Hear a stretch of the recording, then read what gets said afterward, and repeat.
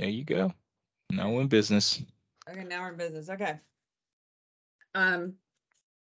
So anyway, we're gonna start with this. Um, a couple of announcements that we want to do here. Amy, Amy, go to presenter mode. Go to go to presenter mode. There you go. Okay. I thought about that this morning. I always think about you. You always tell me that, and I want to make sure that I was there and I wasn't. Ah, So anyway, okay. Um, so we're gonna get started here. So a couple of announcements. So a lot of you I know already personally. If I see a name like, let's say I see Brian Stevens, I know who that is. Um, but some of you I may not know um, who, or let's say I saw somebody that popped up that had the name Recorder. So please make sure that you put your first and last name.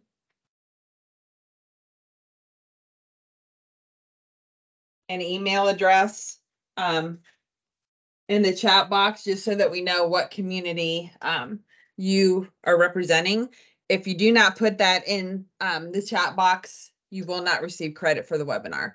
So I just want to make sure that we have everybody identified. If you're coming in on a phone number or different things, um, you want to make sure that you put your contact information in here. So today we're going to be talking about um, floodplain management and administrative duties. And then we're also going to be talking about the um, floodplain management permit guide. So I feel like um, Julius and I have been together now a little over a year, um, which has been wonderful. And I think one of our um, shining stars that we have for um, floodplain management is to be able to have this permitting guide because a lot of times people struggle with administrative procedures and what to do. So again, we're going to be talking about floodplain management, administrative duties, what you guys should be doing on a day in um, and day out uh, for floodplain management. So some of the things we're going to be talking about is how do you make a floodplain mapping determination? A lot of times when I get questions from folks, um, they haven't made a determination or, um, you know, like uh, uh, lately people just kind of send like a rectangle. I'm sorry, um, yeah, rectangle, and they don't have the uh, parcel number. They don't have the street address when they're asking us for help with that. So whenever you guys are asking uh, myself a question or Julius a question or both of us a question, guys need to make sure you have the who, what, where, when, why, right? Where is property located? Where is the floodplain determination? Um, do you know? If you're not sure, that's a- another issue. And then making sure that you issue and review development permits when someone comes into the office, making sure that you have that documentation to detail what type of development um, is being proposed on the lot, reviewing the site plan to make sure it's done by a licensed um, Tennessee surveyor. And then over the counter consultation. Um, a lot of times when folks come in and they have a question, um, sometimes you guys can feel a little bit overwhelmed, a little bit anxious with it. But having the um, floodplain management permitting guide kind of helps you understand some of the topics you should be addressing when you're talking to someone. If you still have questions, you can ask Julius and I.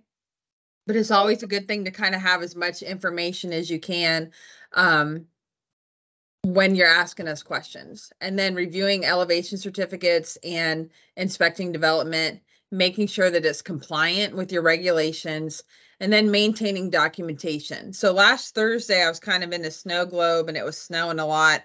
Um, and I went to um, East Tennessee.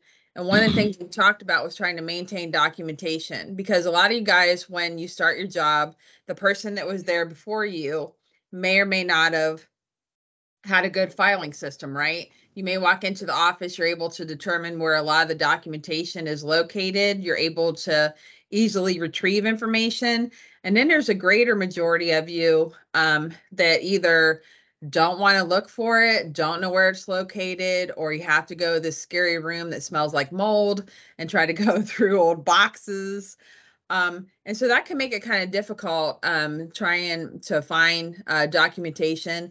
But so Julius and I have been working on administrative procedures so that when I come and do community visits, um, we're starting to have paper copies of things to give to communities as well as electronic files um, to help folks kind of start a new filing system for floodplain management. And then as part of the administrative duties, making sure that you investigate violations. Um, if someone calls and they see something, um, Hey, or like when I was talking to someone Hey, Amy. yesterday. Hey, Amy, quick question. Sure. Um, we got a message from Evan. I think some people are maybe on Cheyenne's invite and not on your invite, Yeah, there were like thirty something people on that other one. Evan. So, um, so Amy, I'm gonna switch out and just, I'm just gonna log in and tell them to switch to your invite. Okay. I'll be back. Okay, thank you. Okay, um, and then also, um, attending trainings. So one announcement that I will make, um, is that Cheyenne, um, was offered a promotional position and is no longer with the state NFIP office. So last Friday was her last day and then, um, we will be looking for someone new. So it's gonna be me for a while. So again, if you guys ask questions and you need things and it maybe takes a little bit longer than normal, um, please be patient. So floodplain mapping determination, um, one of the first things that you should do as a floodplain administrator is to determine if the parcel is in a special flood hazard area. And so there's different websites we've talked about before using the Tennessee Property Viewer, the FEMA Map Service Center website, and then also using um, the FEMA National Flood Hazard Layer. So when you are making a determination, this is a good example of having Zone AE, um, shaded Zone X, areas in a floodplain. So Tennessee is lucky that it has ortho imagery on um, the flood insurance rate maps, and then you also are able to have parcel lines um, on the flood insurance rate maps to make a determination. So Tennessee is leaps and bounds ahead of other um, states when it comes to floodplain mapping because uh, when I first started my career, I've told this story a, a number of times, is that um, that you're able to um, or before I would look at maps and have to have a ruler and try to determine um, where the floodplain was located and then having to go and do even more research was sometimes tedious.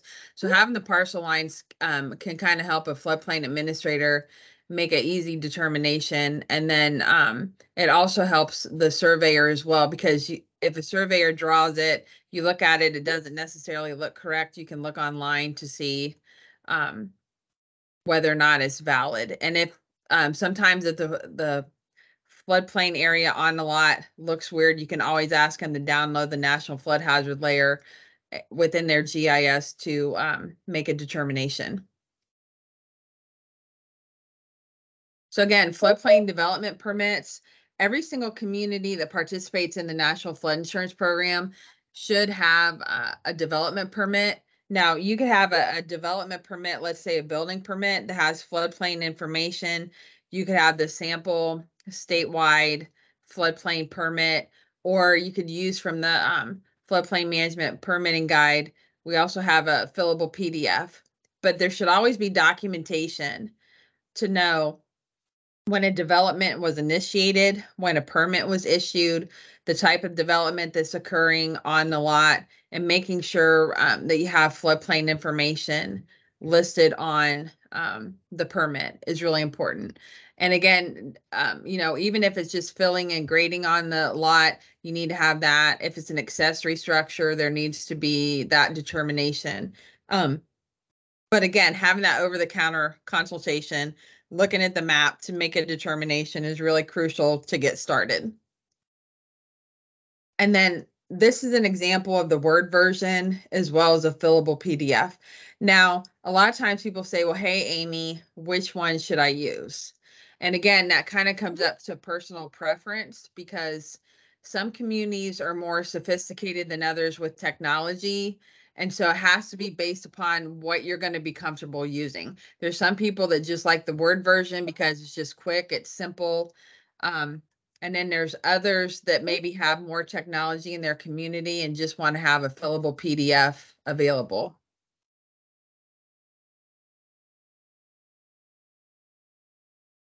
So again, reviewing a site plan, making sure that plans are drawn in duplicate and they're drawn to scale. And again, they're going to show the nature of the lot, location of the lot, dimensions of the lot, um, elevations of the area in question, existing or proposed structures. If there's uh, fill being placed on the lot, the exact location. We always tell people to have a pre and post fill site plan with elevations because sometimes it can come back that let's say you have a major subdivision and the developer did not um, submit a letter of map revision based upon fill. If you have that site plan to show pre and post fill with elevations, if somebody's doing a letter of map revision based upon fill and you have to sign off on the community acknowledgement form, um, that is a way that you can do that and have that documentation.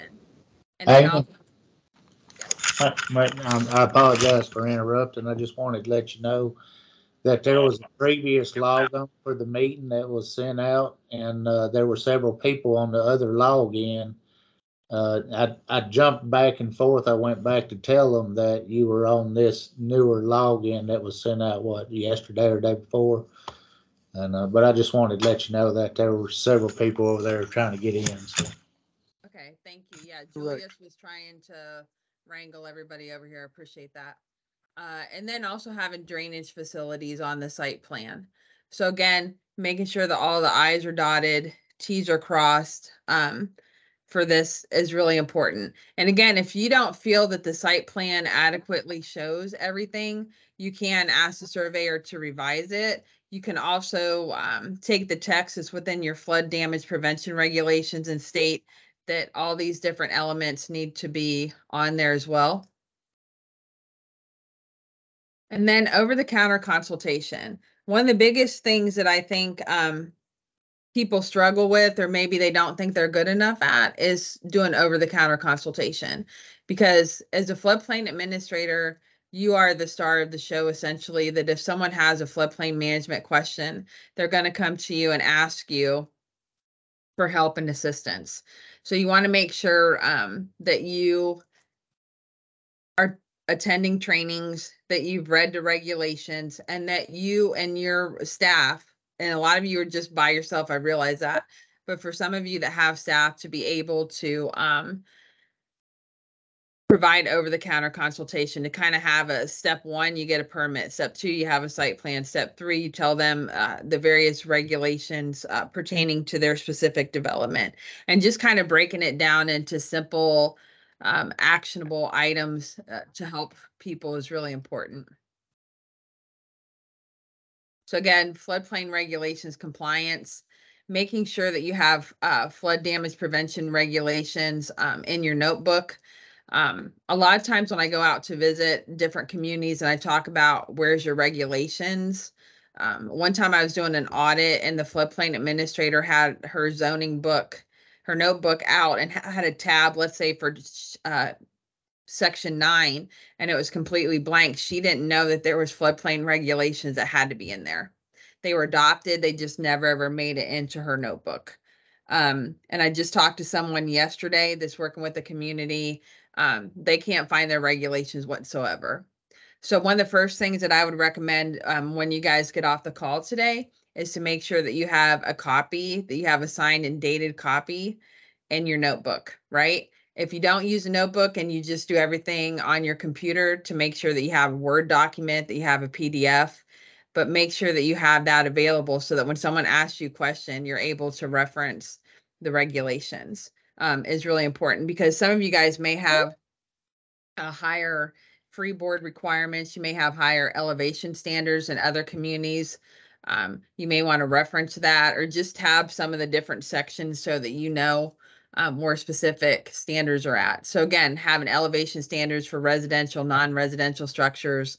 Uh, what are your standards for enclosures? If you have a manufactured home, uh, area where you have manufactured homes coming in or recreational vehicle placement, exactly what are the standards for the National Flood Insurance Program? As a floodplain administrator, what should I be telling folks that come in to see me? That's really important. And then new subdivisions. There are some provisions within the flood damage prevention regulations for mobile homes for new subdivisions. So you want to make sure that you have that to make sure your utilities are elevated, roads, um, or elevated and um, the placement of where all that's going to be. If it's a zone A, let's say I have a large farm that's becoming a major subdivision. If it's 50 lots or five acres, I've got to have a BFE determined. Uh, stream encroachments, there has to be an engineering analysis done prior to the commencement of any development activity. And then having utility location and elevation um, is important and having all that information. So I was at, uh, I was doing an audit uh, last week. And one of the things that we looked at was a site plan and it was a structure for a zone A. And you guys always hear me say that you got to have the four corners of the house, right? You got to have the four points to figure out which elevation is the highest. And so we were sitting there looking at the site plan, and three out of the four corners of the home had elevations in the southeastern corner did not have um, an elevation. So it was you couldn't determine whether or not the structure was built three feet above the HAG because you didn't have that other elevation on there. So again, just taking your time whenever you guys get this to look at it. If you're not comfortable with looking at it, uh, Julius and I have office hours every Monday that we meet with communities to go through different um, development proposals to make sure that they're compliant. So if you have questions or you need assistance, um, we do pretty much give the whole day on Monday um, to doing uh, meetings with communities and just trying to answer questions and stuff. So I always know every Sunday night that Monday morning I'm going to be talking to Julius a lot. Um, so we just try to help communities that way with different issues and different topics. So again, we're just a phone call or email away. We do have WebEx, and sometimes if the um, property owner wants to be on those calls, we also do that as well. So again, we try to be really open, really transparent um, with communities and with uh, property owners as far as the NFIP regulations. And then maintaining documentation. Um, you want to make sure that you keep the files forever. Um, so if you have old flood insurance rate maps, you want to keep them. If you uh, have letter of map changes, you want to have those um, in a filing system that's easily retrievable, which is important. And then investigating violations, you want to make sure that you investigate violations that um, occur based upon your um, flood damage prevention regulations and then initiate corrective action. Um, one thing that I will say, we've had a couple questions um, this week. Um, if there's some sort of issue where there's unpermitted work being done, it is up to local community to initiate um, a stop work order and taking legal action the state NFIP office, as much as you guys would like me to, I do not have policing powers. I can't stop someone from doing something um, that they're not supposed to.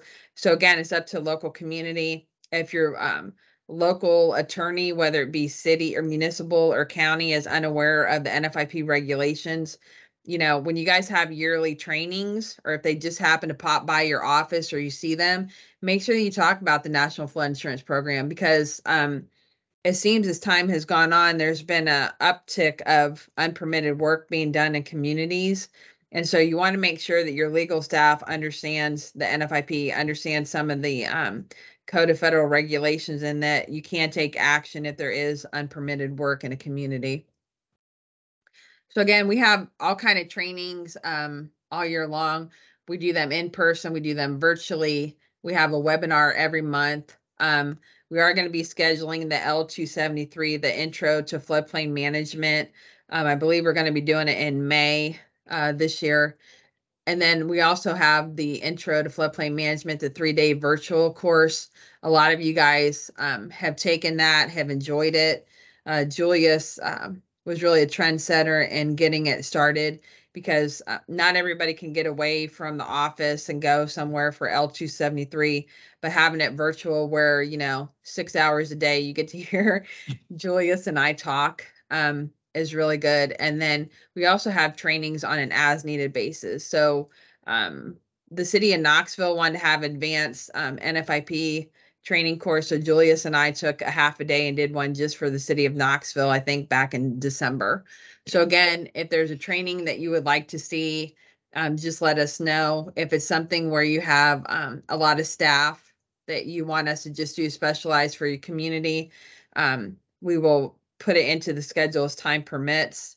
um, we do like to try to do as much as we can to try to help folks. And even if you're brand new and you say, okay, Amy, I don't want to do a class with everybody. I don't want people to know that I don't know much about the program. We have done individualized 101 trainings for different communities. So um, again, if you have needs, just let us know and we'll be happy to accommodate them. Yeah, the other thing to add, Amy, for trainings is for everyone visibility. There is a NFIP 101 on ASFPM website that FEMA has created. It's just housed on SSPM website, but it's a self-paced training class um, so every time we do audits, myself and Amy, we have in communities do that training. If you cannot attend like the L273 or you cannot attend the three day virtual or you cannot attend the monthly webinars, that is another option for local officials. So anybody could take that training. You just go on there and then take the training. You do get a certificate from FEMA. So if you need proof that you attended and complete the training course, you could get that as well too. So it's a really self-paced. You start it. If you start today, you could finish it a month, two months from now, but it's really self-paced. Um, we are in the process of updating it, adding some new materials uh, about substantial damage, Disaster Recovery Reform Act of 2018. Um, so there's different pieces to it. I am on that committee that's created that training course, so that's why I'm advocating for it because it's a really good class. It's self-paced, and if you need additional support, it's a good class to take and anyone could take it. So definitely check it out. I'll drop it in the link. So if you have time and you need some additional training, but you just cannot attend the monthly webinars or you cannot attend the free day virtual or even an in-person, that is another option. So my goal when I came to Tennessee and speaking with Amy, one thing I wanted to do is make sure that there's there's a there's an option for trainings for everybody depending on your circumstance because not everyone could travel not everyone could do the monthly webinars but we still want to make sure that training is available to every community in tennessee so so you're going to have multiple options for training when it comes to learning about the nfip program Good plug. I concur. Yeah, I mean, especially the self-pace, um, I think is really good for some of you guys that maybe don't like um the in-person stuff and you just kind of want to do it quieter, like on a day like today where it's cold and rainy and you just want to stay in and hunker down and learn more about the NFIP. Um, there's a, a myriad of choices available. So again, we're going to talk about the 2022 floodplain management permitting guide. you got it, cor- you got it correct you got it correct we finally got amy to get it correct so she kept changing the name when we created it I know. Um, hopefully you guys are laughing too, but it's good if you're muted because then I, you know, you can laugh with me and laugh at me. Um, so we're going to talk about the permitting guide. We did send it out back in September. If you're a new floodplain administrator and you don't have a copy of either the Word document or um, fillable PDF, just send me an email later and just say, send me the permitting guide, Amy, and I'll send it to you. Um, it does include a sample permit. It has a permit review checklist, an elevation certificate checklist, and then how to use a Tennessee property viewer um, to make a, a floodplain determination. So this is what it looks like. It's really pretty. Um, Cheyenne helped us with the layout on this. Um, and we, Julius came what, back in June? I remember we were sitting out at the conference room table for a week, um, putting this together. So there was a lot of, um, love and enthusiasm um, with developing this document for you guys because again we're only strong we're as strong as our weakest link. So what we want to do is kind of equip you to increase your comfortability and your confidence in doing floodplain management because that's the biggest thing i think um, in tennessee that we struggle with is that people don't think that they're um, good enough to do it capable enough to do it and that's not um, the case. We think a lot of you guys have um, the ability to do it well. Um, and again, like I tell people, it's kind of like a muscle. If you don't use it, you lose it. So no two cases that you have for development are ever the same. So it's a constant um, learning journey that you're going to have with this. Um, so again, it's just good to have um, an open uh, attitude and just wanting to learn all this. I think is, is I think floodplain management is fun. I talk about it a lot. Um, and every time that I meet someone, I try to tell them a little bit about it. So again, you guys are our biggest um, cheerleaders and advertisers of the program. So the more that you learn, the more that you can help your friends, family, colleagues, stakeholders in your local communities. Yeah, the other plug on that, Amy, for the Tennessee permitting guide. Um, this is version one.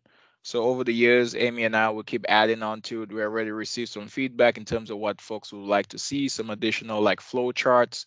So any opportunity you get, guys, when you l- utilizing the, the permitting guide and you would like to see maybe a flow chart of hey, how is this process would work out? Let us know those feedback. So now we could incorporate in version 2.0. So this is a, a, a living document that'll be forever being updated as we add new pieces to it or we make changes, especially with the elevation certificate that's coming out, the new version. So we may have to go back and make another edit to it. So just be mindful that this document is, is a living document that's forever going to be updated. So we always send out the latest version. So that way you guys are staying up to date on everything. So, and if you have suggestions of things you'd want to see, um, definitely let us know and we'll be able to try to incorporate those suggestions into the latest update.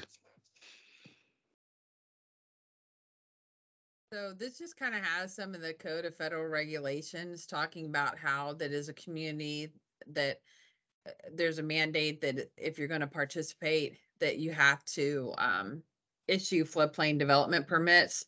They are required for all proposed construction or development. So again, when a community voluntarily decides to participate in the National Flood Insurance Program and they uh, adopt these standards, they have to issue permits. So sometimes when we go to communities and they go, oh, I didn't know I was supposed to do that. Well, it's in the Code of Federal Regulations. It's also um, within the flood damage prevention regulation. So again, um, it's a quid pro quo type program. Uh, is a community voluntarily participates in the National Flood Insurance Program. Um, they're offered uh, flood insurance, disaster assistance, but on the flip side, the community is supposed to be enforcing these regulations uniformly um, across their community. So again, steps to be followed uh, for a local floodplain administrator is making sure that you do a determination if the parcel is in a special flood hazard area. There's a Tennessee property viewer. There's a FEMA map service center website, and there's also the FEMA national flood hazard layer. So those are three most prominent uh, websites. Most people, if they don't have a county-wide or community-wide GIS system will use a Tennessee property viewer. You can click on um, show FEMA flood layer and then um, you can print or it'll say make a map and you can click on that and have a PDF of the map. It'll populate that for you. So it's really easy, very user friendly. Um, and then also requiring a development permit. So development permit can be any kind of man-made change to improve or unapproved real estate including but not limited to. So you can have mining, dredging, grading, paving, filling, excavating, drainage facilities, or storage of machinery or equipment and structures on the lot. So it's it's a, wide variety of items. So that's why we talk about when we look at development permits, you want to have all these different types of development listed because a lot of times people just kind of go on autopilot and go, okay, all I got to worry about structures. I don't need to worry about grading, paving, filling, excavating. You know, I don't have to worry about it. I don't have to worry about drainage facilities, right?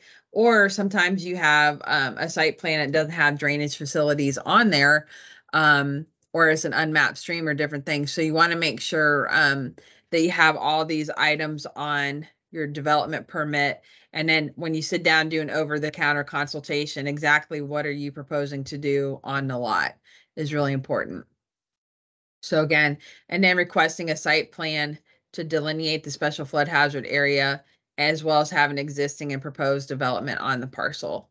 And then that also can go with, let's say you have planning and zoning in your community, if there's certain setback requirements that you have for different lots, or let's say that I'm in the city of Franklin, I have my uh, main uh, dwelling and I want to have one accessory let's say I have an accessory and then I want another accessory shed, like I want a she shed for all my uh, cooking supplies that I and baking supplies that I have in my house or whatever then Shanna's going to say to me, no, Amy, you have your principal, you have one accessory, you can't have another one. So again, making sure you have that site plan that has existing and proposed development on there can also intertwine with your land use regulations, your planning, your zoning. And if someone's trying to propose something that's not allowable, um, you can kind of get um, alerted to that very early on in the process.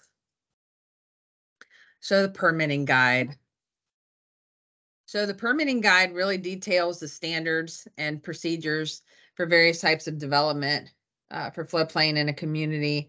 It specifies certain kind of standards and making sure that they're uniformly applied and enforced. So really, this is just kind of our gift to you guys as far as um, if you look at the flood damage prevention regulations, if I were to ask you guys how many of you have read it cover to cover, maybe we would have half, maybe we wouldn't, maybe we'd have more than that, maybe we wouldn't. But this is kind of a a, a, quick cheat sheet to kind of help you guys if somebody comes in and has questions, right? Because a lot of times, um, you know, like when I came into this position, it'll be nine years in April. Time flies when you're having fun, right? So when I came into this, there wasn't a lot of administrative procedures, right? There wasn't a lot of stuff for me to look at to go, okay, Amy, this is what you need to do. So one of the things that's been a blessing of having Julius is that, you know, we're kind of looking starting from the bottom um, and working our way up is that how do we equip you guys with just doing the basics of floodplain management?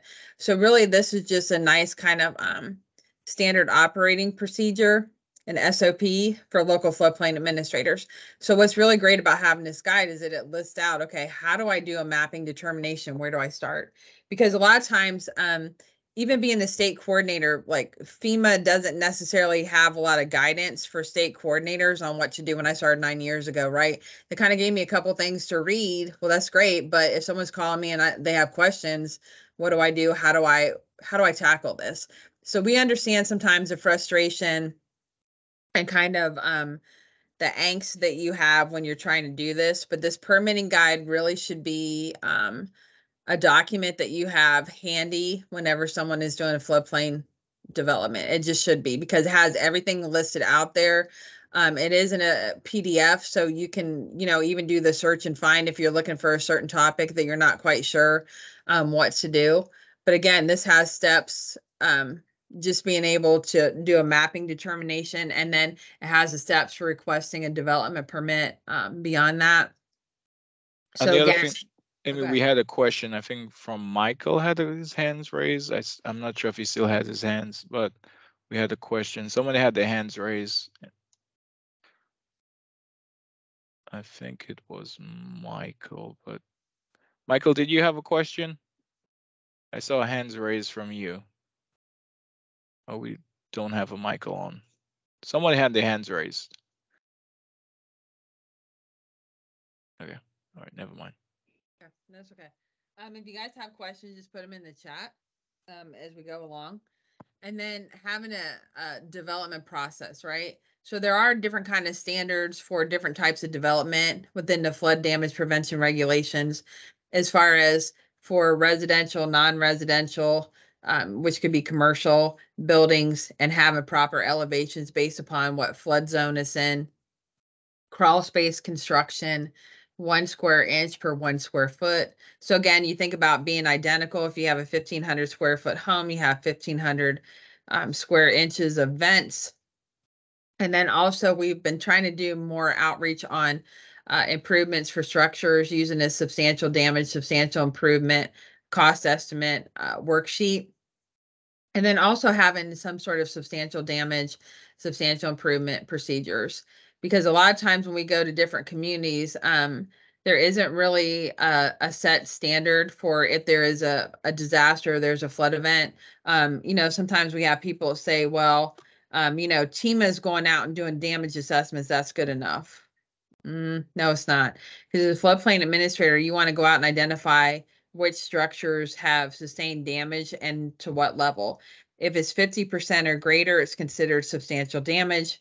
If it's 50% or less, you've got to document that. Some communities have cumulative clauses where they go back five years, some go back 10 years. So, again, when there is a disaster, um, if I'm filing a, a flood insurance claim, uh, sometimes I need that letter from the community to say, no, it wasn't substantially damaged, or yes, it was. Um, and FEMA is also um, now starting to kind of look at kind of doing audits with communities to say, okay, you had a flood event. Um, where's the documentation? Where's the letters? How many, what number of structures were damaged? Uh, where's all the letters? So kind of like after the Waverly flood, Larry Lescure had to go and do um, damage assessments as well as Amanda Height in Humphreys County. And they went out and did damage assessments and they have the letters. And I know I could pick up the phone today and call them and say, um, how many structures uh, were substantially damaged, how many were not. They can give me that answer, right? And so Larry always jokes and says, I've been baptized by flood. and he knows the National Flood Insurance Program better now because of this flood event.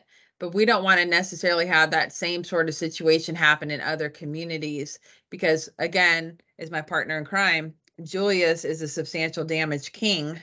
Um, he, well, really, you're the subject matter expert. That that's one of his favorite things to um, train on is substantial damage. So one thing that we want to kind of work on with communities um, moving forward this year and probably next year is start working on having substantial damage plans um, and procedures in place.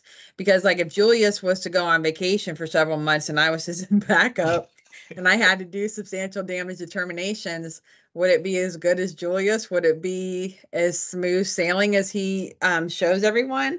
Maybe it would be, maybe it wouldn't be.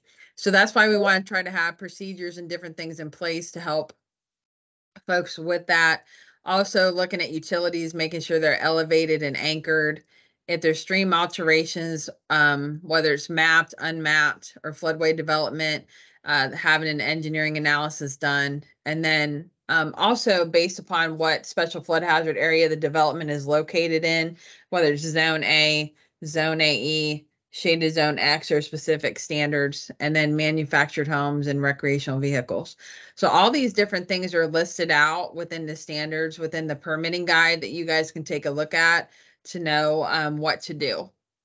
Yeah, and the other plug to make for the permitting guys, guys, it's your document. Feel free to make changes to it. Feel free to add your own stuff to it. If you have resources or checklists that you have already created, add on to it. This is your document. Feel free to make changes. Feel free to add to it.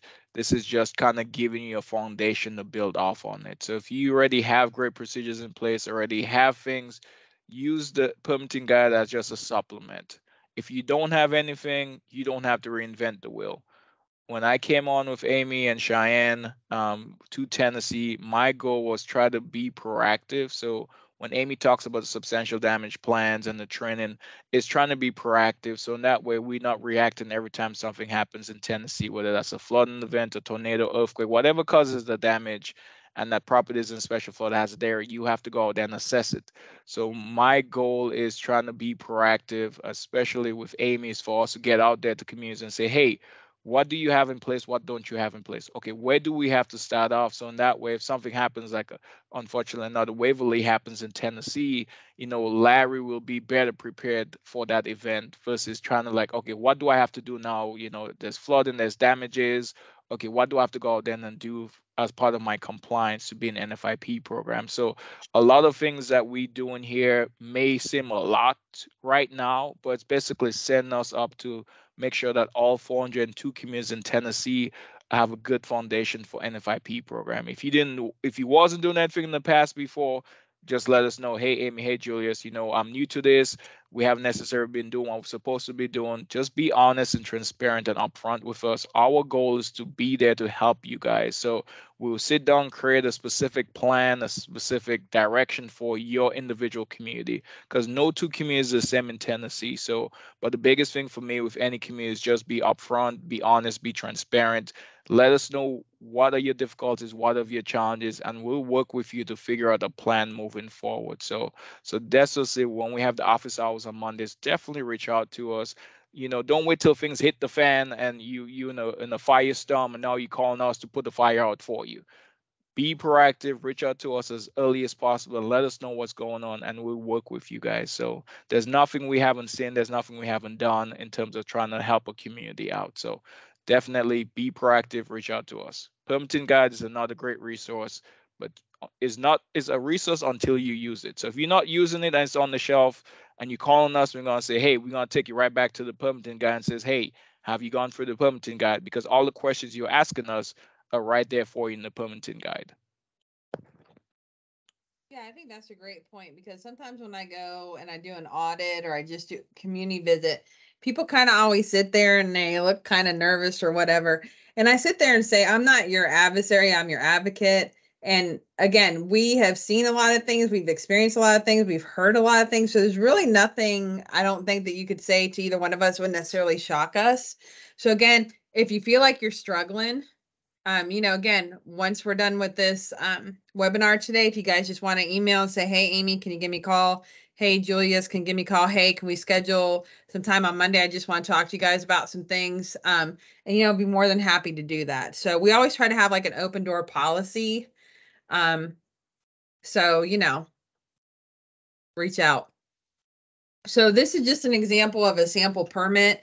Um, this is the example of the fillable PDF, and it really is comprehensive as far as detailing the nature, the location, the type of development within a floodplain, and then making sure that there's other uh, type of human activities are considered as far as alterations of a structure through additions, demolition and remodeling. Um, one that we're having that, you know, we rewrite the uh, flood damage prevention regulations talking about fencing. Um, some communities have fencing standards, some don't. Some, if it's more than a certain height or a certain length, it's kind of inconsistent all over the board. uh, Just being honest. So we're going to work on that.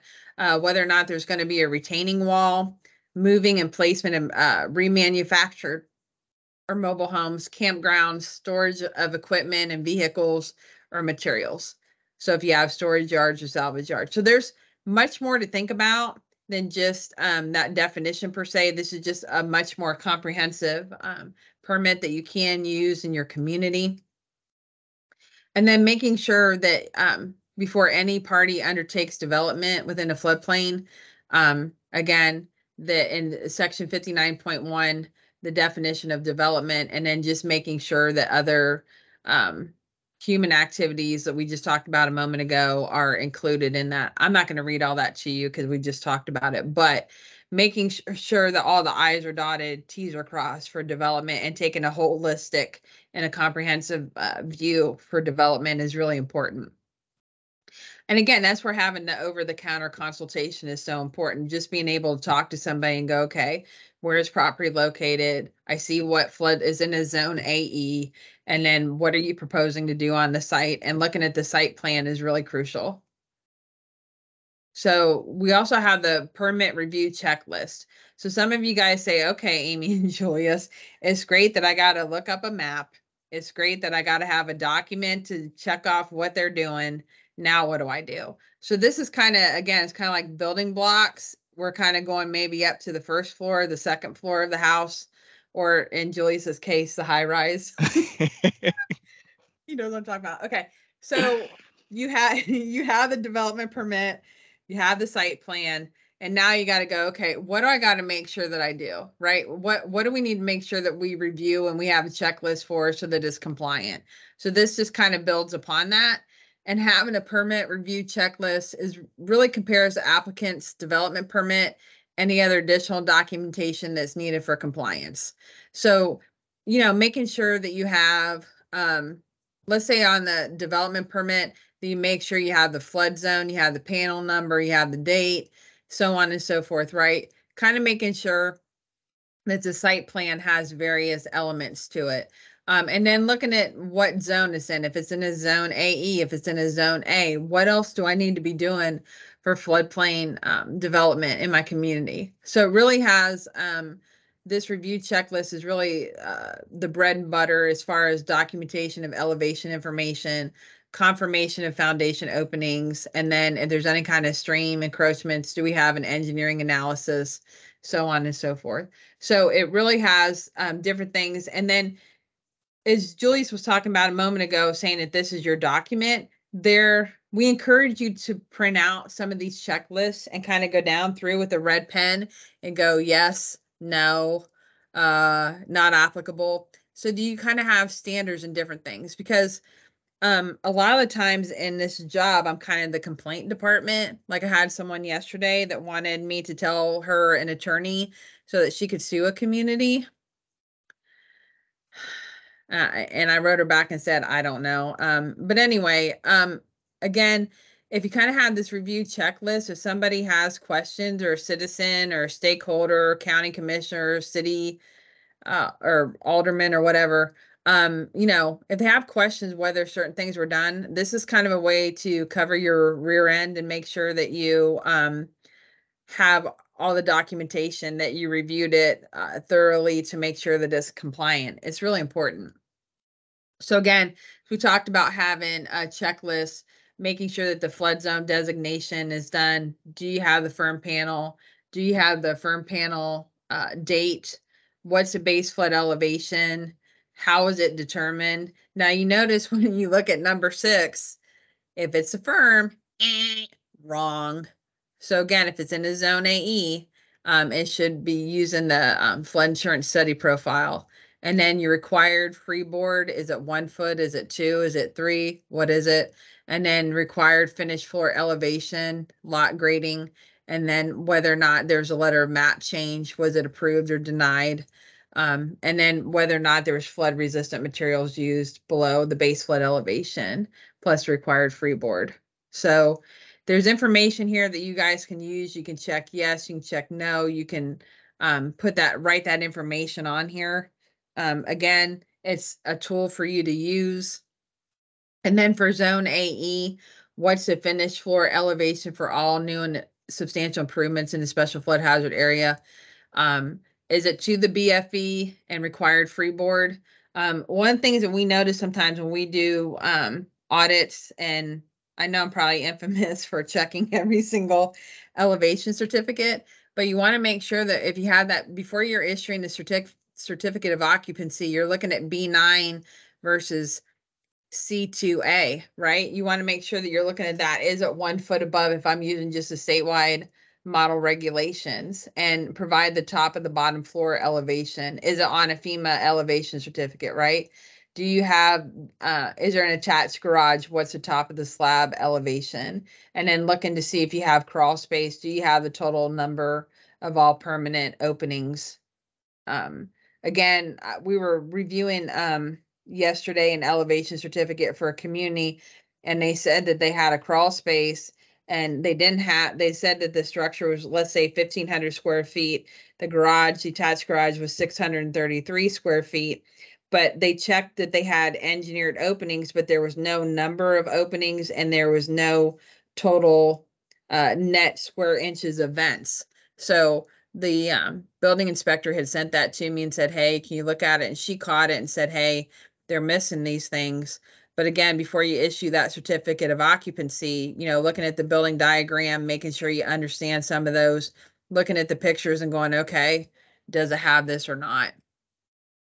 And then for A zones, making sure the top of the bottom floor for all new and substantial improvement uh, of structures is three feet above the highest adjacent grade as I spoke about a little bit earlier, making sure you have a site plan from the surveyor and having all four corners of um, the structure, the elevations, and then determining which one's the highest adjacent grade, as well as um, being um, three feet above that. Uh, one of the communities that I um, help do a lot of permits, um, the surveyor had a site plan for zone A and actually put in the notes um, the elevations of the four corners, which one was the highest, and that the structure was going to be built three feet above that. So again, making sure that you have that notation, whether it's on a site plan, whether the surveyor writes a letter, but making sure you have that in case there's ever questions in the future or someone thinks that the structure is not compliant. Again, having the documentation, and it really doesn't take the surveyor that long to write that up. And then making sure that you have the total area of all permanent openings um, on there and then it's within one foot above adjacent grade, either interior or exterior. As we've talked about a lot through the years, the comment section on the elevation certificate is really your best friend, right? Because if someone's going to pick that up, or let's say that you send that elevation certificate to me and you say, hey, Amy, review it. If they don't have anything for C2E, I think, um, you want to make sure that they have that information listed in the comment section as far as when they're putting in events is the interior exterior grade? What's the elevation of um, the machinery equipment and the location? So again anybody should be able to pick up the elevation certificate and look at it and know um, various elements and aspects to the um, construction of the structure and whether or not it's in compliance with um, your flood damage prevention regulation. So again, having the lowest elevation machinery or equipment servicing the building to be three feet above the highest adjacent grade as well. Um, and making sure that duct work is either placed um, above the BFE or sealed from floodwaters. Um, so again, there's information on the FEMA 348. And then floodway encroachment. Um, I think I'm probably going to be infamous for this for the rest of my life. Um, making sure that there's an engineering review that's being done. Um, again, if it's uh, zone AE with floodway, it has to have a no rise or um, has to be sent to FEMA for a conditional letter of map revision prior to construction to bless it from FEMA and then uh, to revise the flood insurance rate maps and the flood insurance study. Um, you're going to follow that up within six months of construction with a letter of map revision. So again, making sure you know that. And then um, again, the placement of manufactured homes is not permitted unless it's within an existing manufactured home park. And then um, also having free of obstructions below the BFE. So those are some of the things for floodway encroachment. So this is just a good checklist to kind of look at different things.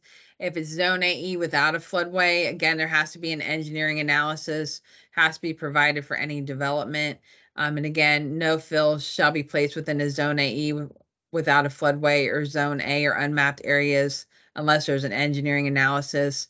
Placement of mobile homes um, has to have an engineering analysis as well and then making sure that you have free of obstructions below the BFE. So all these things, you know, you can kind of look at this and go, do I have it? Yes or no. If you don't have it and you need it, it should be a eh, eh, eh. I got to stop the um I can't issue the certificate of occupancy. I've got to stop maybe issue stop work order until I have this documentation is really important.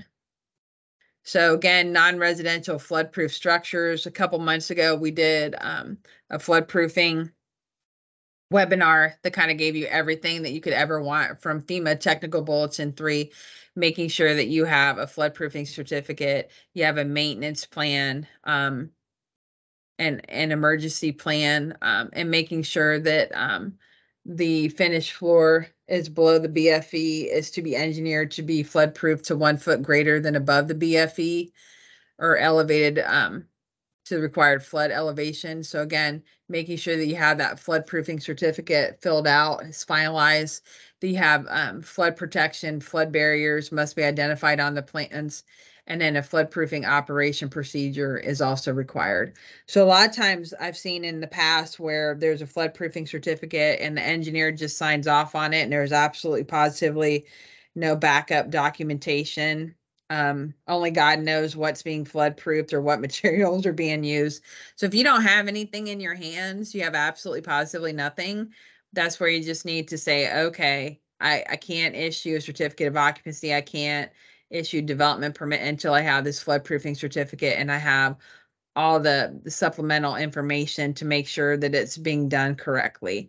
So if you ever do have a structure that wants that someone is desiring to have it flood proof, I would encourage you to watch that video that we did um, on flood proofing and to also look at the technical bulletin three because it really has a lot of great information, uh, things that should be part of that um, package to make sure that it's compliant because a lot of times if you don't really have enough information um, you know think about whether it be your friend whether it be a family member or somebody that you know that is their business if it isn't flood proofed correctly they're going to lose their inventory um, and they're going to be really hurt financially. So you want to just keep that in mind as well.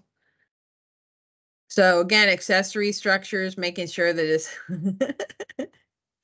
for um, storage, parking, and access. I did it right. By I did treatment. my spa treatment. Um, you want to make sure um, that it's not used for human habitation. Um, it's not climate controlled. That there's flood resistant materials is anchored to resist flotation. Um, there's permanent openings, flood vents, and then um, it really the accessory structure should be of low value. It shouldn't be something that's worth, let's say, half a million dollars. Um, and then service facility, making sure the the electric is elevated above the BFE or flood proofed. So again, if you're gonna have that she shed, he shed, you're just going to have a structure, accessory structure out in the backyard. You want to make sure that it's anchored and elevated to resist flotation and that it's not going to be, let's say, a mother-in-law suite or Auntie Amy um, suite when she comes to visit. You know, you just want to make sure that um, you have all that um, done correctly. And then remodeling, whether or not um, it's going to be a substantial improvement. So that's where you have the substantial damage, substantial improvement uh, cost estimate sheet where all the various elements that uh, should be figured in um, should be listed. Sometimes when communities have building codes, they say we're just going to use what the um, IBC has listed, um, you know, the monetary value per square foot. And if someone's only doing 200 square feet, we're just going to go on that value. We're not going to worry about the rest of it. But for NFIP purposes, you really want to use that cost estimate sheet that's within the substantial damage, substantial improvement desk reference. Um, and then, you know, just making sure that um, any kind of improvements, any kind of repairs are being documented with the true value. And then making sure that you had that package completed and signed um, before construction starts. And then if it's remodel of uninhabited um, space to habitable space, if it's below the BFE is prohibited. So for instance, we had an example where someone had, let's say a garage and the finished floor was below the BFE and they wanted to turn it into livable space that is prohibited. That's where we talk about having um, a, a deed restriction or a non-conversion agreement to make sure that um, that isn't done, whether it's in a zone um, A or zone AE. And then really, there should be no remodel or conversion of space below the BFE that's allowed. And then no new additions, vertical or lateral, for pre or post firm structures without being elevated on an elevated foundation designed to new construction specifications within the flood damage prevention regulations. So essentially, if I have a house, let's say it's pre-firm, let's say um, it's my childhood home back home, and it was built back in 26. Um, that was way before the National Flood Insurance Program. But if it was in the floodplain, and let's say that we were going to put an addition on the back, if we're going to put an addition on the back, it has to follow the NFIP regulations. You can't say, oh, well, you know, Amy, I just want to build it lower because aesthetically it looks the same as everything else. Because it's new construction and you're um, obtaining a permit, it has to fall under the new NFIP regulations. The same for a post firm um, structure. So if I'm already in the National Flood Insurance Program, let's say my community joined in 2010, I'm pulling a permit in 2022. Um, if that structure was built, let's say in 2012, and I'm putting an addition on in 2020, uh, it's 2023. So if I'm putting an addition on in 2023, um, I have to follow new construction and I have to elevate that area and make sure that that finished floor is one foot above the base flood elevation if I'm in zone AE or that it's three feet above the highest adjacent grade. So again, can't get a, well, I don't want to do it kind of thing because eventually some of the structures, if they're built in non non-compliance if they get damaged the whole thing has to be um, brought into compliance. And the same thing with if you're doing additions you want to make sure that it meets your current flood damage prevention regulations. So one of my favorite things to talk about is the elevation certificate checklist. People kind of laugh at me because i said it's the closest thing to having me sit beside you when you review the certificate. So again um, FEMA currently is um, revising the FEMA elevation certificate. It's still under review. So this probably may or may not remain for the rest of the year. Um, just depends upon how fast FEMA um, approves those changes. And once they do approve those changes, we'll have uh, training on that and we'll also revise this. But currently, the elevation certificate that everybody is using, this kind of has everything and anything you could ever want. You have the red text that kind of gives you additional information. And really, it's just uh, verifying that the structure was built into compliance with the community's flood damage prevention regulations. And then there's documentation of elevation information, foundation openings, machinery equipment, and anchoring and elevation information. So this is what the elevation certificate looks like. Again, it has to be done by a licensed Tennessee surveyor. And then this is just a checklist here. So each of the sections, whether it's A, whether it's B, C, D, E, F, there's different instructions on all this. So there's a lot written on here. And I think the biggest thing is making sure that the building use, whether it's residential, non-residential, addition or accessory is listed. Um, having the correct building diagram number on there is important. Oh, Amy, sorry, you got to open mic. Give me a second. On.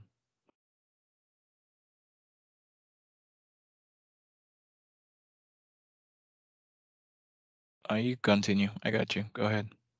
So making sure that you have the correct building diagram number, um, and that you have the correct elevation information. If there's crawl space, do you have, um, the correct number of openings? Whether it's engineered or not. I'm not gonna necessarily read through all this because you guys, most of you guys have copies of this that you can look at.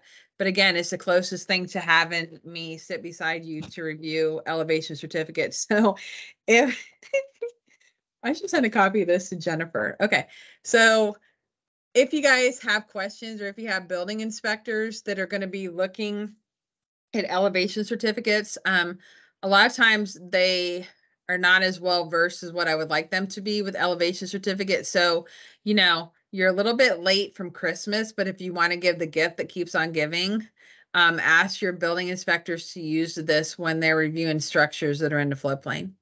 Now, ultimately, you're going to be looking at it as well, but if they're out in the field and they see different things, or if they're reviewing elevation certificates for completion before they issue the certificate of occupancy, this is a great resource to use.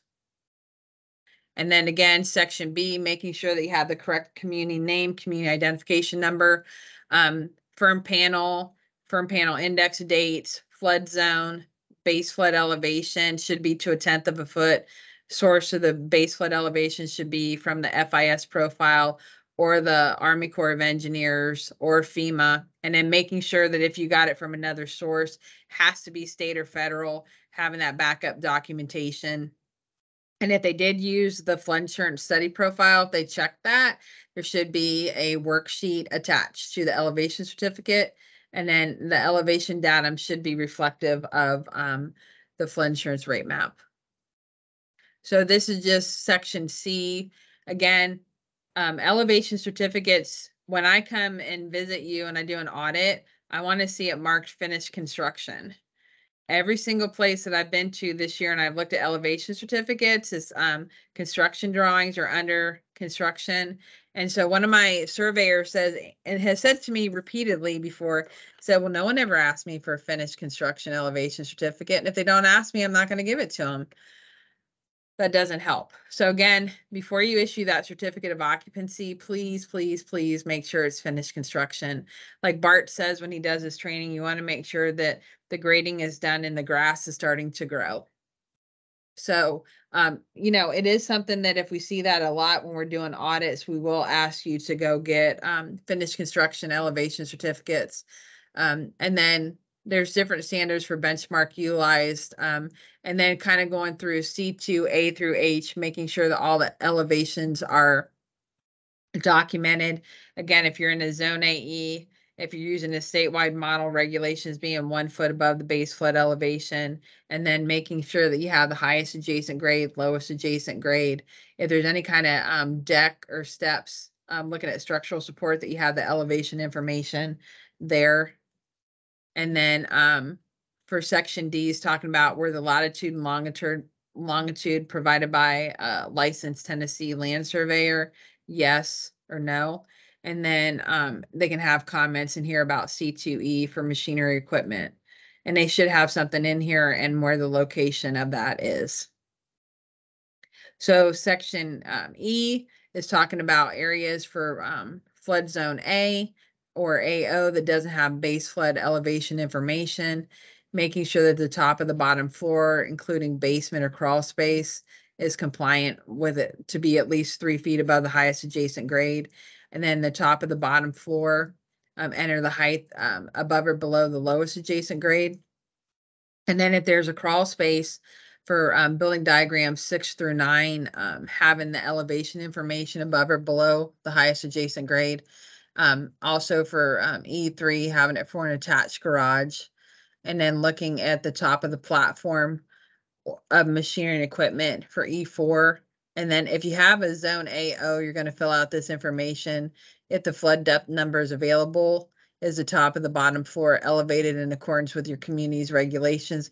You're either going to mark, you're going to put an elevation in there or you're going to mark yes or no and then put the elevation. So not a lot of communities have zone AO, but because it's a nationwide um, document, they're going to have everything on here.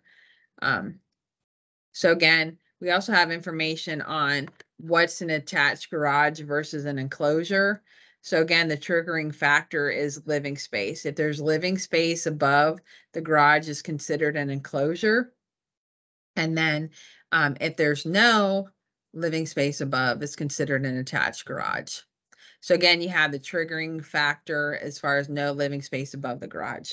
So this was an issue that we had with um, some of the community rating system uh, communities when they um, their elevation certificates were reviewed. There were some questions on this, so they gave some great information. So we have this in here. So in case you have a surveyor that maybe has never been to training or it's been a while, or maybe they do come to training, but they're still not quite sure.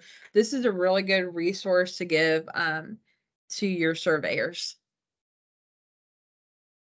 So again, we have instructions for the Tennessee Property Viewer. It's a great website that we have to help obtain um, flood determination information.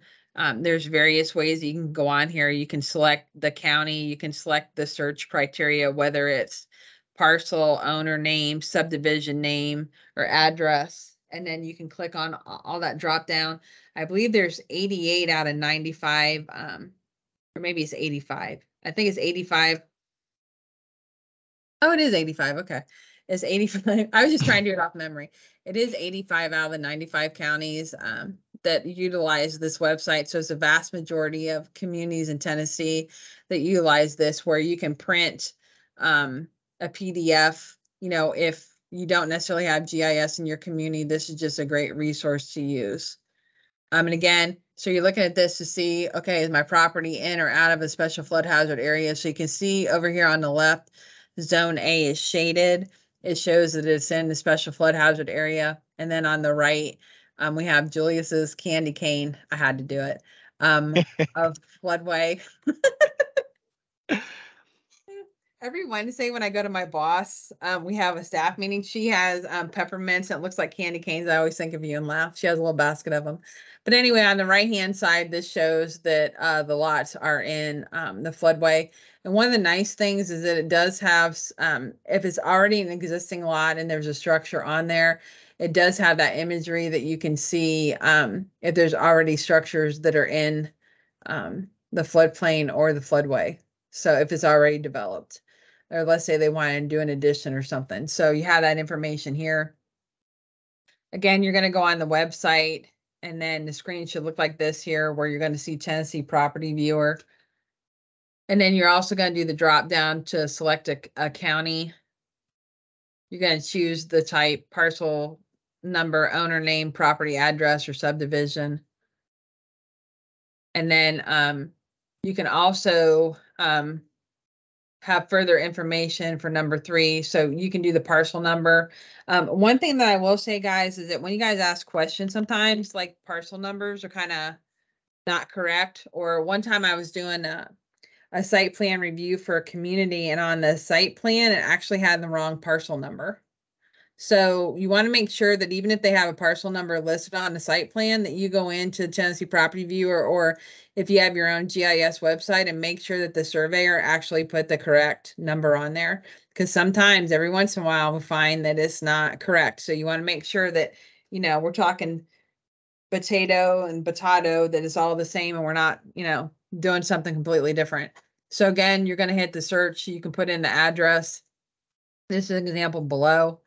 Um, so all this being said, I know a couple, what, probably this past summer, I think in September, we did a whole shebang and we went over every single thing uh, for the permitting guide, but we just wanted to do this as a refresher to kind of say that the, the document is available for you to use. as a floodplain administrator, if you have additional staff that helps you, it's a great tool and a great resource. And it also kind of helps with the administrative side of the house because some of you guys, you're brand new to this, some of you are brand new to government, and you're trying to think, okay, if I'm going to be the point person, how do I want my program to look? You know, some of us really excel on organization, some of us struggle. And so if you do struggle or you're not quite sure where to start, this is a great resource to be able to say, okay, I, I can use this permitting guide. I can use the PDF one if I want to have a fillable PDF. If I don't want to mess with that, I can use the Word document, but I already have this already together, right? So I can already uh, review and evaluate development applications in my community using this. Uh, I have information within the guide on how to do a, um, a floodplain determination. And then I also have the specific standards written out for me so that if I don't want to flip through the whole entire flood damage prevention regulations, I can look at this guide, flip a couple pages, see what I need and be able to tell an applicant what they need to do. And then also reviewing elevation certificates for accuracy. So again, you can be that rock star at work. I know that's what everybody dreams to be, right? You can be the star of the show. And then Julius and I will be the backup singers. Although you probably want to mute my microphone because I can't sing. I can't have it all, right? But you can have us in the background to help you, right? Because you guys really um are the stars of the show for your local community. You are the point person. Some of you guys like floodplain management, some of you guys don't like floodplain management, but if you have to do it as part of your job, um, enthusiasm can help you a long way. Um, and learning this program, it is valuable because again, your home or someone's business is probably the greatest asset that they'll ever have. Um, and so you want to make sure that you help them um, protect it as much as possible and try to reduce flood risk as much as possible in your community. So I think with that, do you guys have any questions or comments? Julius, do you have any parting words? Um, I would just say a terrific job as always, Amy. Um, this document, like I said in the beginning, is a livable document that's forever gonna be edited and make changes. Um, it's a document we designed it with you guys in mind. Um, so if you definitely have feedback, you things you want to see, I know some of the things Amy and I want to put in there, some flow charts for different um, situations to kind of help help you guys out as well too. But definitely utilize the documents. If you have an open audit or community assistance visit um, from either Amy and I, one of the things that we're going to ask for corrective actions is having procedures, is having checklists. So guess what? You have this document that you could utilize and say, hey, Julius, hey, Amy, this is what I'm going to use for my community when it comes to administrative procedures. That checks a lot of things off your corrective actions list. So if you have an, a CAV from myself or Amy or anything in the future, we're going to ask you guys to create those documents. So you have the option of one, you could implement this document or you could create yours from scratch. My recommendation would be utilize this document. If you want to make changes, make changes to it. Work smarter, not harder is one of my biggest things I always try to do. Don't try to reinvent the wheel, guys. Don't try to stress yourself out. Okay, how am I going to implement NFIP program regulations for my community? I have to start back from scratch. You don't have to start from scratch. We have given you guys the foundational to build off it. Make changes, add to it.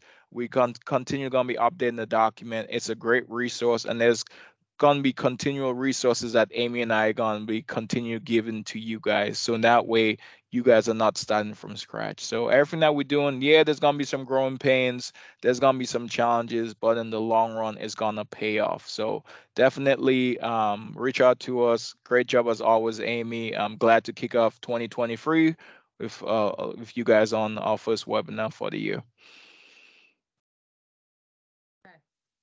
So um, what we will do um, now that I am the Lone Ranger, I will be sending out certificates and things. So um, please give a little bit of patience um, till I can get all that sent out. Um, we will be sending out other um, calendar invites um, upcoming for the year for you guys. Uh, the Tennessee Association Floodplain Managers uh, newsletter should be coming out any day now, so we'll be sending that as well.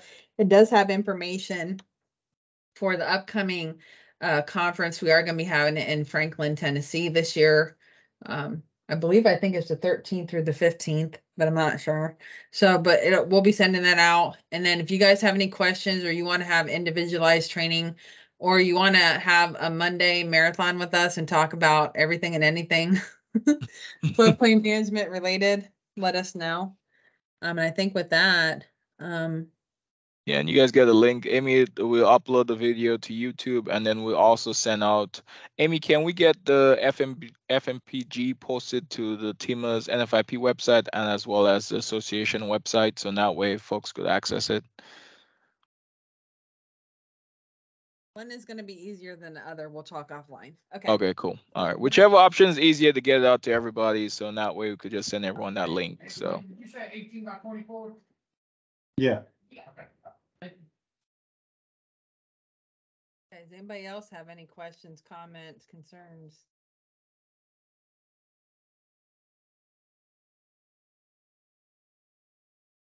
Okay.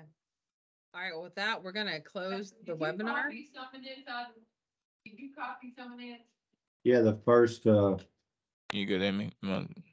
The, uh, Hold on, got open mic. Okay. work Yeah. machine. no, that was me. So the bottom, the bottom, All right. the bottom three, Okay, go ahead. All right, Amy, I think that's all we got. Okay. Thanks, everybody. See you guys next month, everybody. All on Mondays.